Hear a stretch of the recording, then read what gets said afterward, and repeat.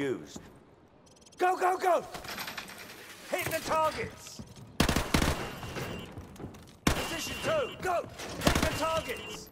Flashbang through the door! Position four! Hit the target! Position five, go!